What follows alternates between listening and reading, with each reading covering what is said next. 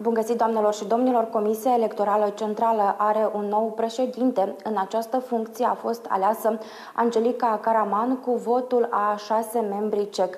Angelica Caraman a deținut anterior funcții în direcții la Comisia Electorală Centrală și este licențiată în drept. La alegerile locale generale din 2019, Angelica Caraman a candidat la funcția de primar pentru Comuna Ghidighici.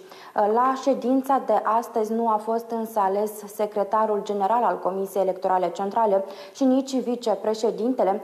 Aceste subiecte au fost amânate pentru uh, ședința uh, următoare. Precizăm că la ședința de astăzi a Comisiei Electorale Centrale au fost prezenți uh, șase membri cec.